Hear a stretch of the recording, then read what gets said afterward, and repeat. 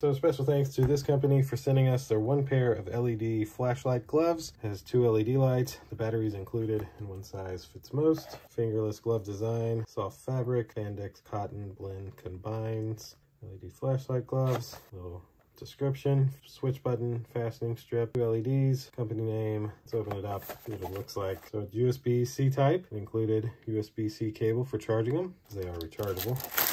For the box, and so here they are.